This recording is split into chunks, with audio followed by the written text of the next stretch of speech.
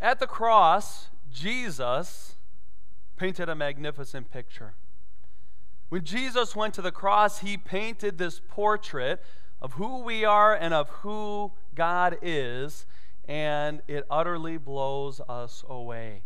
Now, I, I, tied in a little bit with this theme of art because this week you see the kids were all focused on art. Uh, they went to Spark Studios, it was called, and uh, it was really cool on Monday. So, uh, Betsy Thompson was up here. She was uh, leading things uh, for that opening ceremony, and uh, she was doing some spoken word. And we had someone was over here playing on the piano. We had another young lady over here was doing some dance, and all the way over here we had a, a special artist who was here, and from a blank canvas painted uh, a beautiful picture. The kids loved it. It's a very cool thing. They were learning this week that they are God's creation. God is a creator, He is creative, and we are uh, there at the pinnacle of His creation. That's why He's come and He loves us. And so when I look at the cross, I look and I see that Jesus has painted a picture of who God is. Now, I looked at this picture. This picture is only about six days old. They did that on Monday, but I wanted to show you another picture that is about 100 years old. I couldn't believe that it was actually about 100 years ago. I've got a picture of that right here, and uh, you may look at this painting and say, What in the world is going on over there? Now, uh, you may not be able to tell what's in the picture, but I bet some of you could guess who painted that picture. Anyone have any guesses of it's a famous painter? Who knows who it is? Pablo Picasso, of course it is. He painted this painting about a hundred years ago, which is surprising for me because I think he was probably ahead of his time, right? He was entering into some of the more modern, like abstract type things. I think, oh, that's pretty cool. But what he was doing with this painting, he had this huge canvas and he wanted to say goodbye to a period of his life where he had painted in this cubism. And so he started to paint, and uh, he painted on here. I don't know if you can quite tell, but over here we've got a musician. It's a, it's a little harlequin type guy, and he's got that a violin there. He's ready to play. Then in the middle, we've got another guy kind of calls back to this style from the 1700s, and he's playing there a clarinet or an oboe. And uh, over here on the other side, on the right, uh, that's a guy, it looks like he's texting, uh, but uh, that is actually, uh, that's um, an accordion. It's a monk. You can see his little rope there. It's a monk playing an accordion. And this painting is called The Three Musicians. Three musicians. Now, at first, when you look at this, you're like, what am I even looking at? This doesn't really look like anything I've ever seen before. But as you start to discern what it was that the artist had in mind, you start to see the things come together and you see the unique perspective that was there. Now, sometimes we take a look at the cross of Jesus Christ and we have the same reaction as we have to this painting. We look at the cross of Jesus Christ, a man crucified, and we say, What in the world is going on here? Someone who was innocent is crucified. Why in the world would that happen? What all is going on here? I've had those own questions in my own life as I go around and I see crosses, huge crosses. Some churches have crosses on them. Uh, some people I saw in the first service, I saw a person with a necklace that had a cross on it. I've seen earrings with crosses on it, t shirts. I've even seen people get a little cross uh, in their haircut at times. And as you're growing up, maybe you wonder, what is the deal with the cross? What is going on there? Maybe as a child, uh, for you, have you ever thought about this in your own life as you try to understand and discern and interpret what's going on? on the cross, maybe you, you went to a, a Good Friday service and you think, man, what's going on here? Does this whole thing have to be so bloody and so gory? Maybe you get a little bit older and you enter into your teenage years and you start to look around and you see people who are absolutely sold out for Jesus and you start to wonder what is it that happened at the cross that makes people want to devote their entire lives to Him? Or maybe even still now, you're still scratching your head saying, I'm not quite sure what all was going on at the cross. Well, today, we're going to discover exactly what it is that we're looking at at the cross. And just like Pablo Picasso painted a painting of three different musicians at the cross, Jesus, in a sense, painted a picture of three different truths for us. And the truths, as we put them together, we'll see our bottom line today is that at the cross, we see our worst overcome by God's best. At the cross, we see the worst that we have to offer, the sin that we've committed, the worst uh, execution device that humans have come up with, the worst reaction to the creator of the universe to kill him. And we see God's best his love, his sacrifice, and all the promises that he fulfilled. So I'm going to ask God to be at work within our time together, ask him to speak to us through the power of his Holy Spirit. So please join me in prayer as we seek him in those things. Lord, we thank you so much for sending your son Jesus. We thank you not only that he lived, but we also thank you that he died. We thank you that he died in our place because without him, we have no hope. Lord, we turn to you today and we want you to help us to understand what it was that you did at the cross. Lord, I pray that you would speak to us. Help us to grab onto these truths. Help us to see this picture that you are painting and help us to be able to walk in light of all these things. Lord, we pray all these things in Jesus' name, and all God's people said, Amen. Amen. Well, I told you there's three different things, three different ways we're going to see that at the cross, we saw our worst overcome by God's best. The first thing I want to bring your attention to is this number one, God hates our sin. God hates sin. Sin is anything that goes against who God is, his character. So he's created us, he's given us the ability uh, to make decisions. And uh, pretty much as soon as he gave people the chance to choose things, they decided to turn away from him. We see that in Genesis with Adam and Eve. And ever since then, we've been sinning both by nature, because that's who we are right now, we can't get away from that, and by choice. So we've got this big sin problem. You know, I heard a story this last week of uh, two different guys who like to be artists. It's Jeremiah and Ryan. They love to be artists. And the way they do that, their canvas isn't like this. Their canvas is human skin, which sounds like really weird, but let me just tell you, they're tattoo artists, right? So they like making tattoos on people. They've got a tattoo parlor there in Kentucky. And so Jeremiah and Ryan, a few years back, they said, you know what? We want to open up some free appointments. If people want to come and get a tattoo, we will do that for free. We want to give people an opportunity to cover up tattoos that they regret. Whether it's tattoos that had gang symbols on there, whether it's tattoos that had flags with uh, racist connotations, whether it was swastikas or different things like that, they said, You can come and we will cover up some of those tattoos. So, their first customer who came and took advantage of that was a lady who in high school got a flag with uh, some uh, negative connotations.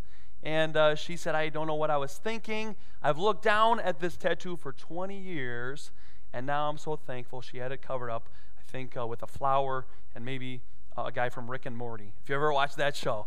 Well, she covered it up and she realized she had made this mistake long ago.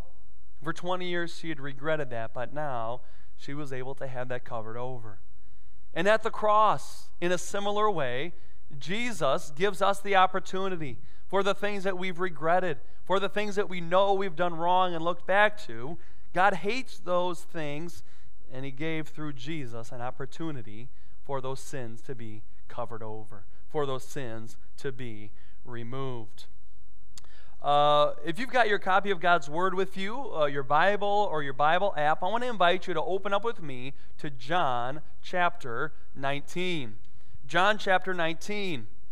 And in John chapter 19, we're going to continue to see the day, the time, the moment, the hour when Christ went to the cross for us. We, we uh, take a look here, and we're going to start it up in verse 16 there at the end. John 19, verse 16. It says, So they took Jesus, and he went out bearing his own cross to the place called the place of a skull, which in Aramaic is called Golgotha we're not sure why it was called the place of the skull. Uh, maybe a lot of other people had died there. Uh, maybe there was a rock formation that kind of looked like a skull. But either way, we re- realize that Jesus is headed to his death. And our passage tells us that there they crucified him, and with him two others, one on either side, and Jesus between them.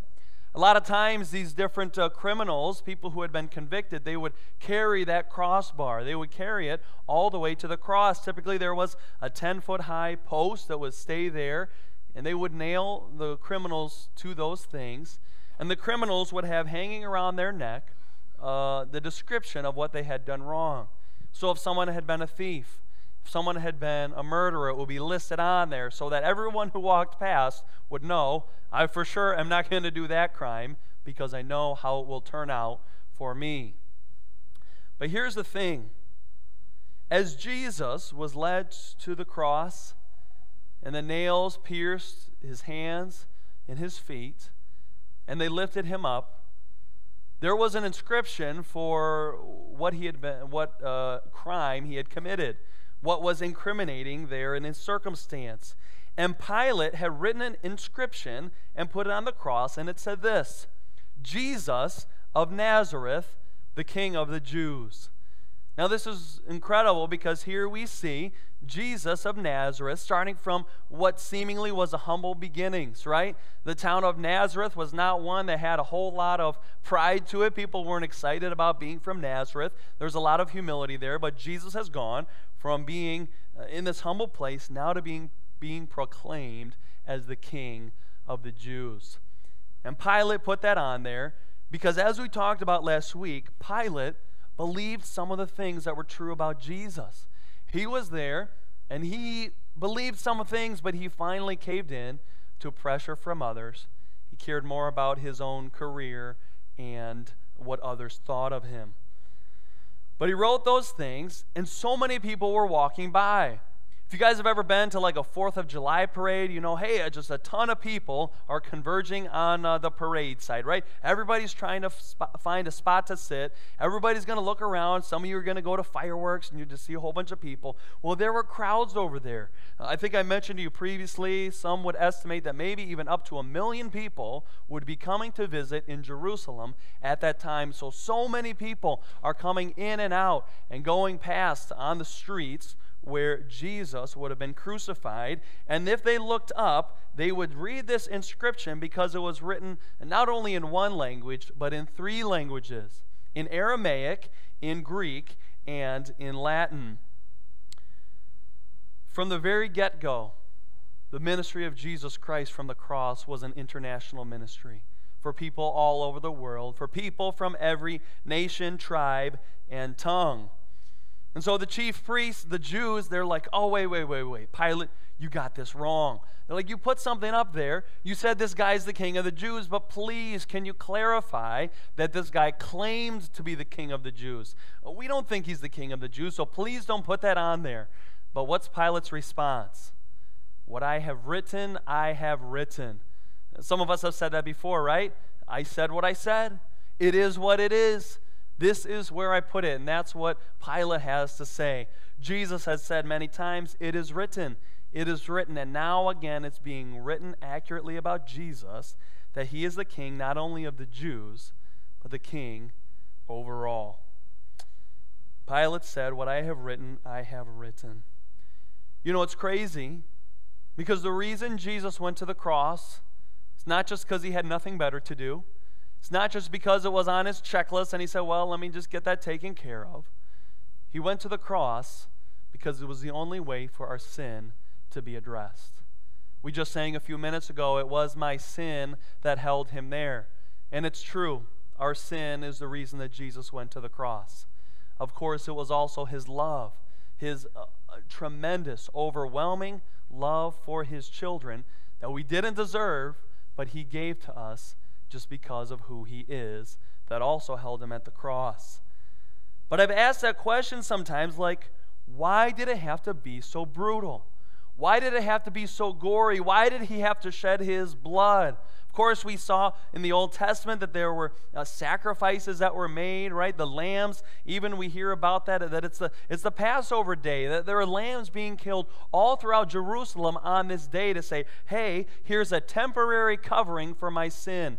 Here's a temporary covering. If you've ever taken out your credit card, you say you got a purchase, and you're like, you know what? I don't quite have the money in my bank right now. So I'm going to swipe my credit card, and that's my promise. I'm going to pay for this later. And so, for so many years in the nation of Israel, these animal sacrifices had been made, and basically was their way of saying, hey, we're not able to cover for our sin 100% right now, but we're trusting God's going to pay for it later. And when Jesus comes here, he says, hey, I'm ready. I'm ready to pay this bill in full.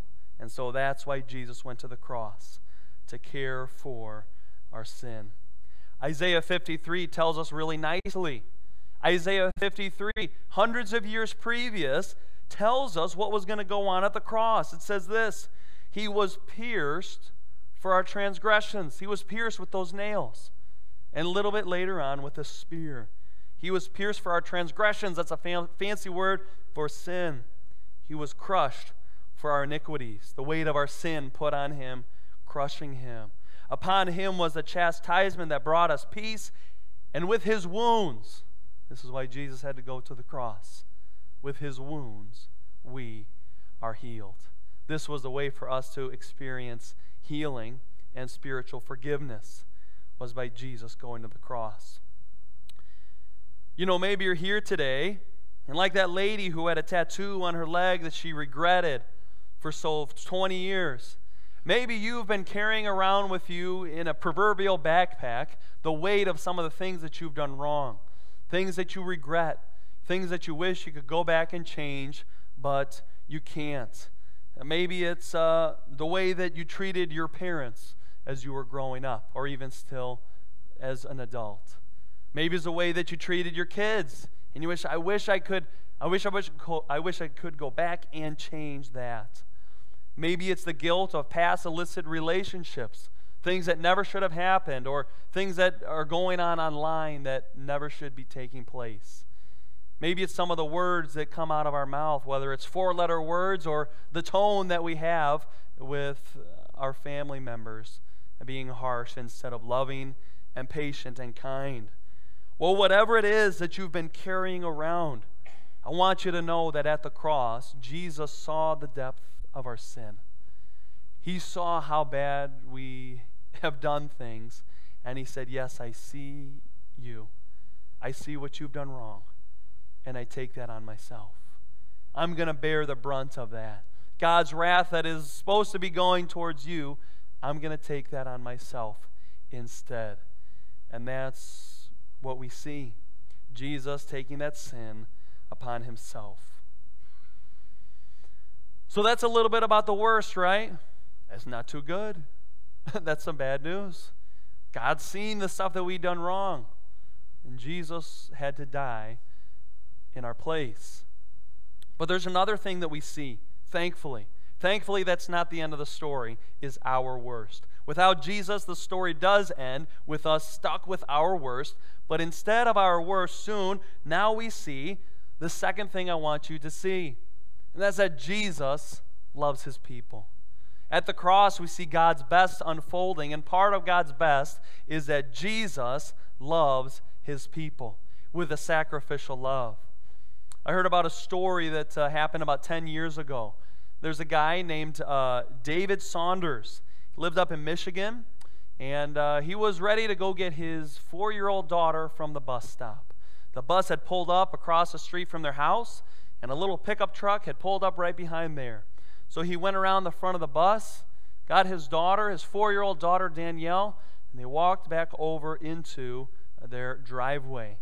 And as they were standing there, there came a car that was coming too quickly. And this car was going so fast that uh, they realized they were not going to be able to stop in time to avoid hitting this truck.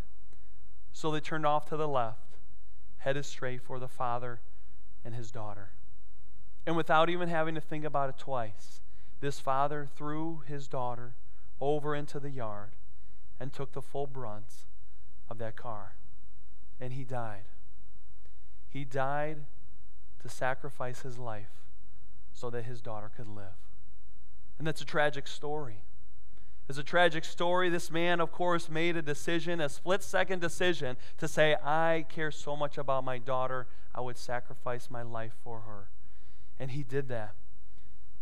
But the reason that something like that is so heartbreaking for us is because death is a serious thing. Death, to be separated from life, both in a physical sense, to be separated from physical life, that's a serious thing. But all of us, not only were we destined for physical death, but we also were existing in spiritual death, being separated from life. Who is life? God is life. He is the author of life, and being connected to Him is the only way that we can be spiritually alive. And so Jesus came. And just as that loving Father said, I will allow myself to take the full brunt of this, Jesus showed His love for His people at the cross. Uh, we're going to continue in our passage, so uh, take a look back in John chapter 19, verse 23. And it says this When the soldiers had crucified Jesus, they took his garments and divided them into four parts. Now, Jesus probably had his sandals that he normally would have been walking with, probably had his uh, outer garment, probably a, a, huge rectangle that kind of would drape over his shoulders. Probably had a covering that he would uh, put over his head at times, and he probably had a belt. And so that's four things, right? So they divided up for those four soldiers. But there's one thing that's left, and that's his tunic. And so this tunic was one that was so nice, they said, let's not rip this thing up. Let's gamble to see who it is that's going to get this. And of course, they gambled for his garments. One of them won, and they were able to take Jesus' tunic. But you know what's really interesting? Why would the author of John spend this time talking about how nice Jesus' tunic was? It was a tunic that was woven from top to bottom. It was a really special garment. Now, John has taken some time to talk about some other bits of cloth during this time. We see, of course, the cloth that symbolically was untied when Lazarus came out of the grave. These cloths of death that he was wrapped in symbolically came off. It's amazing. He also brings our attention to a cloth, a, a servant cloth, that Jesus took around his waist as he took the posture of a servant to do even the most low of servanthood towards his disciples to wash their feet. I believe it was just last week. We saw that as the soldiers were mocking Jesus for being the king of the Jews, they put on him, what was it? A purple cloth, joking that he was the king.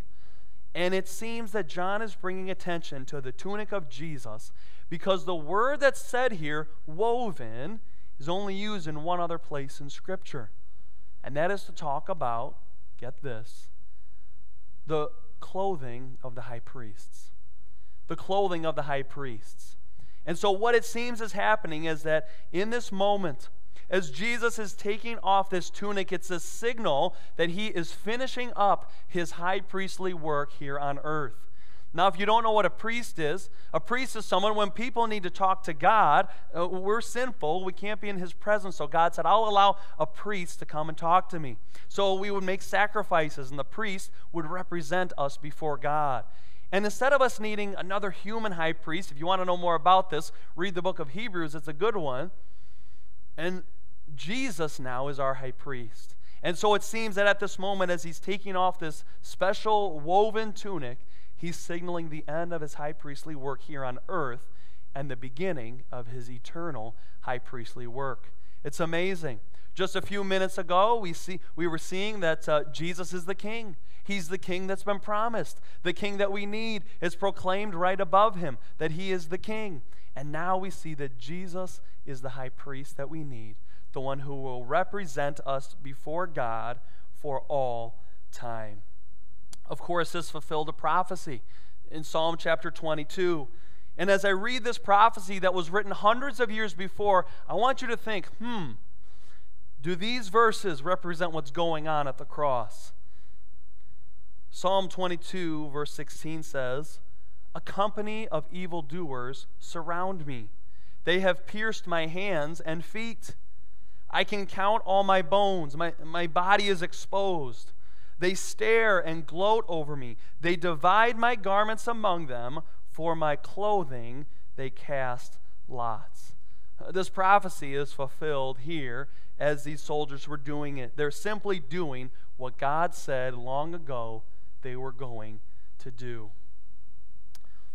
But not only do we see Jesus as the king, not only do we see his tunic coming off so that, uh, so that uh, it's representing the fact that he is the high priest, we also see Jesus taking this moment to have some final words with some of his closest loved ones. In this moment at the cross, verse 25 tells us who's there.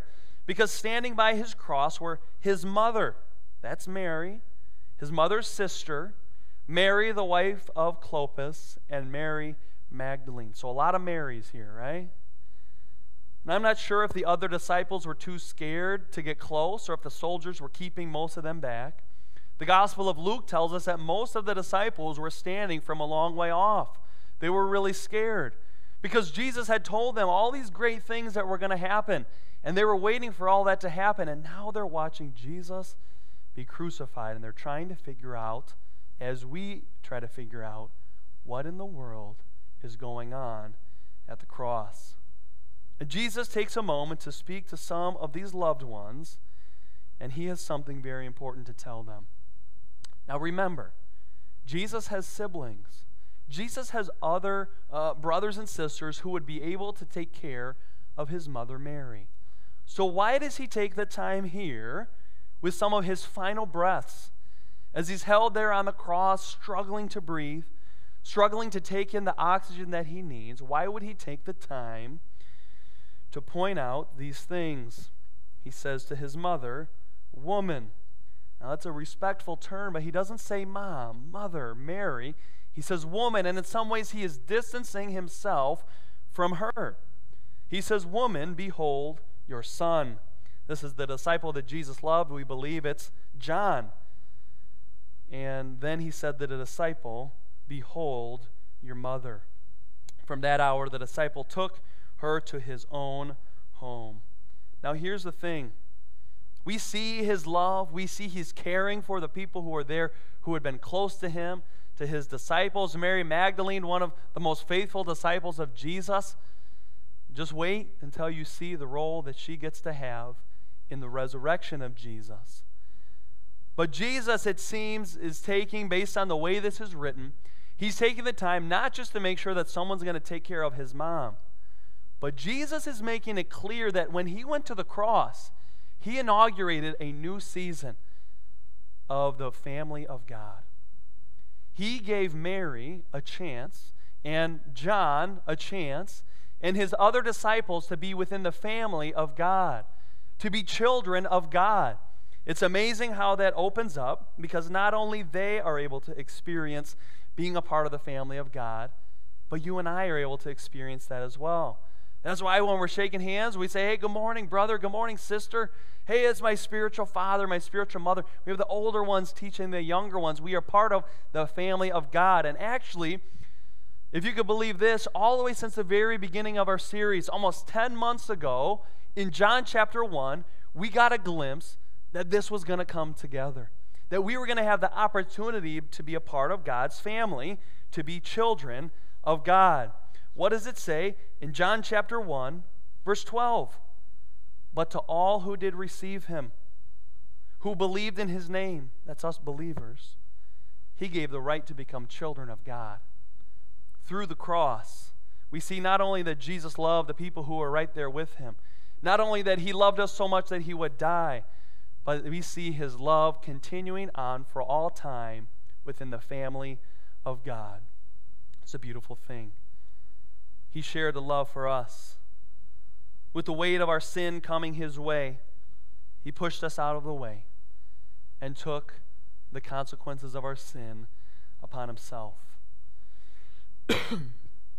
you know, maybe you're here today, and maybe your family didn't turn out the way that you wanted it to. Maybe you wish that you had children, and maybe you were never able to do that. Maybe your relationship with your father or with your mother or with your grandparents is not what you wish that it was. Maybe there's brokenness there. Maybe you have a spouse or you used to have a spouse who treated you in a way either by leaving you or by, by not being all that they should have been within that relationship that you feel as though you have been failed in that.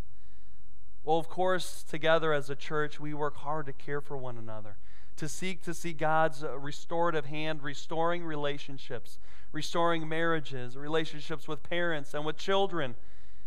But one of the things that we see within this passage is that Jesus gives us not only healing at times within our physical families, but he gives us a spiritual family.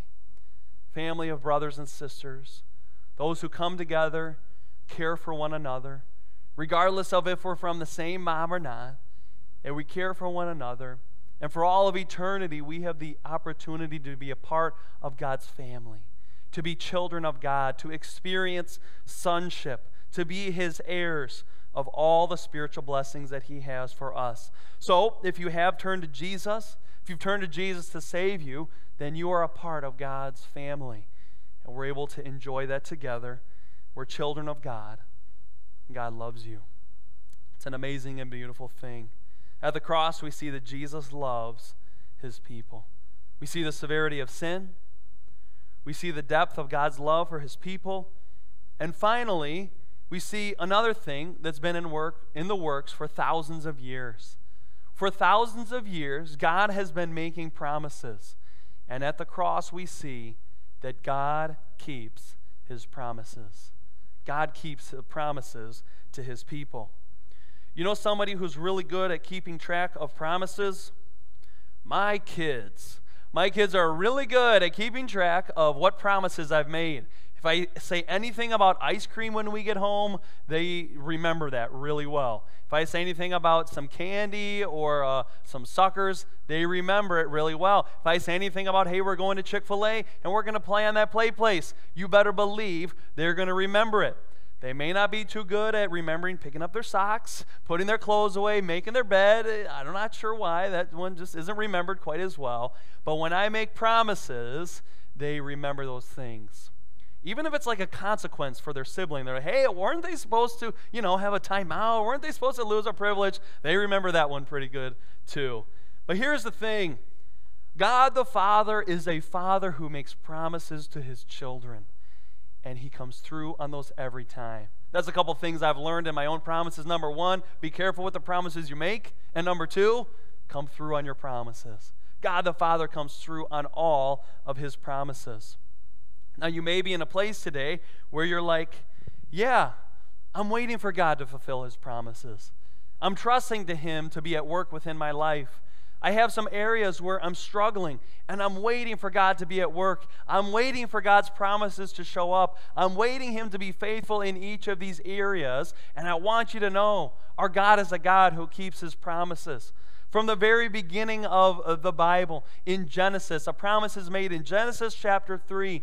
After Adam and Eve, uh, they uh, fall apart and they sin. They give into that. The promise is made, the, the proto evangelion, the first gospel, that there will be one who will come one day that will be from the offspring of Eve, who will come and who will overcome not only sin, but the evil one and will make things right. God is the God who is keeping that promise. When a promise was made to King David that there would be a king who would come from his, his line, who would rule forever and ever, Jesus is the fulfillment of that prophecy.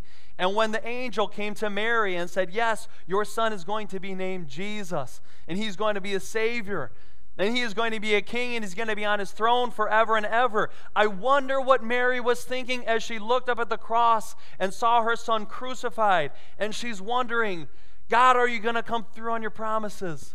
God, are you going to keep your promises to me? Because this sure doesn't look like you're getting the victory, God. There are moments within our lives when we see moments and experiences and we look around and we say, God, are you really coming through? God, I'm waiting for you to be at work. Are you going to come through? And I want you to know God keeps his promises. Within these final few verses of our passage today, we see a handful of fulfilled prophecies or promises. Verse 28 says this Jesus, knowing that all was now finished, he's in the home stretch, he's about to complete his saving work here. He said, to fulfill the scripture, I thirst. And when he said that he was thirsty, that fulfills Psalm 22 15.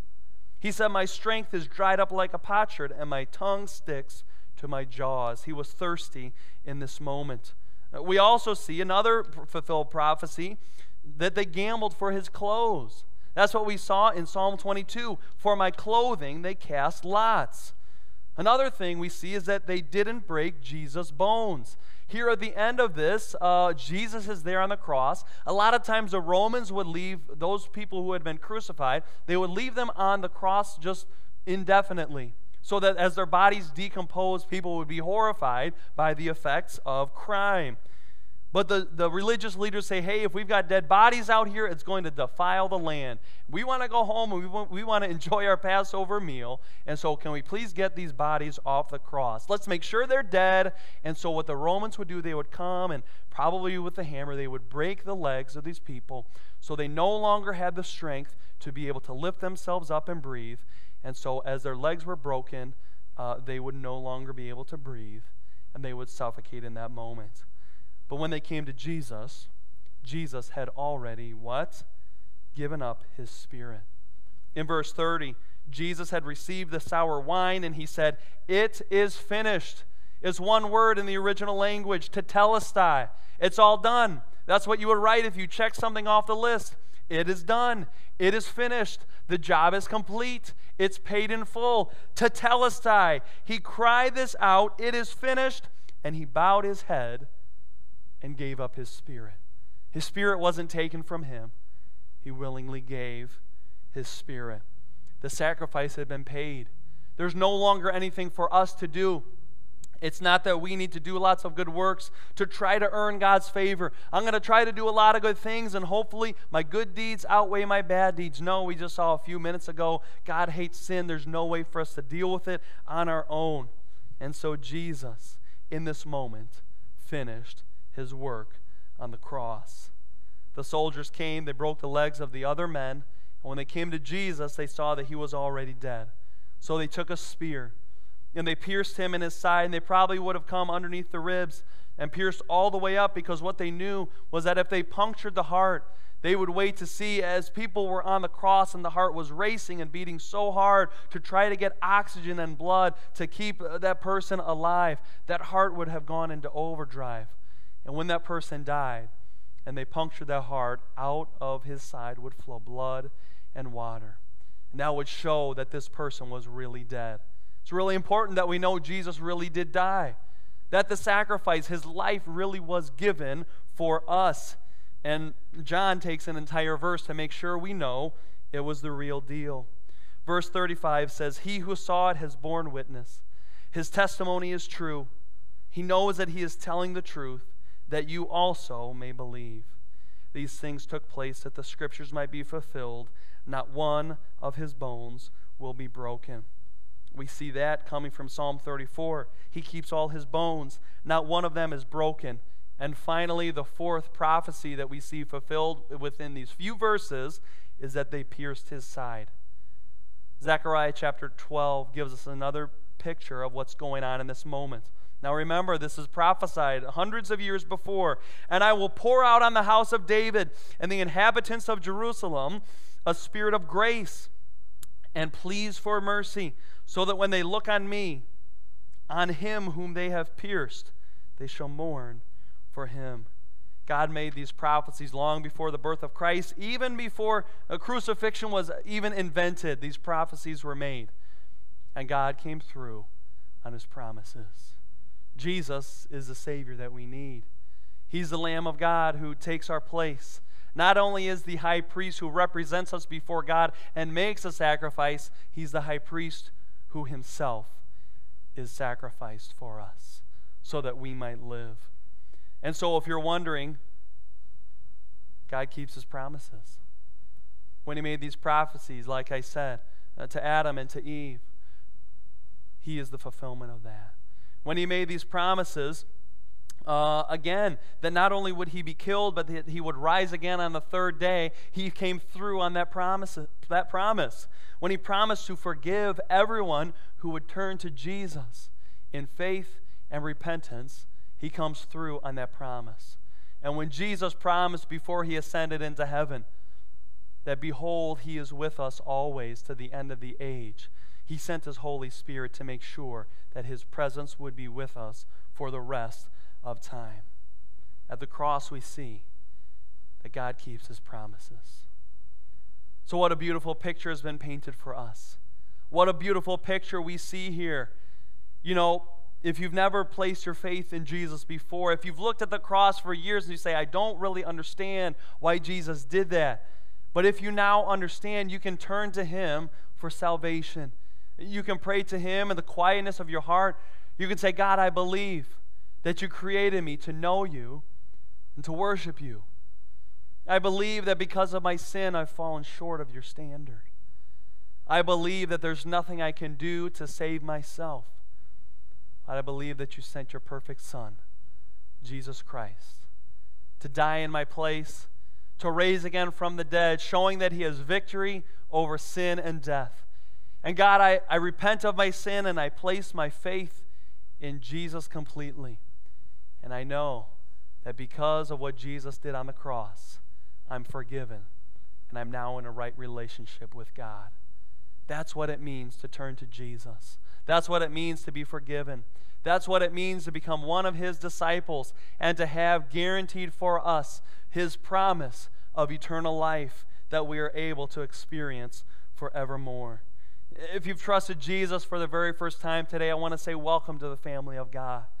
We've been a part of the family of God, and we are enjoying this not only today, but for all of eternity. At the cross, what a beautiful picture it is that God's painted, not only of the ugliness of our sin, but the beauty of redemption available through the blood of Jesus.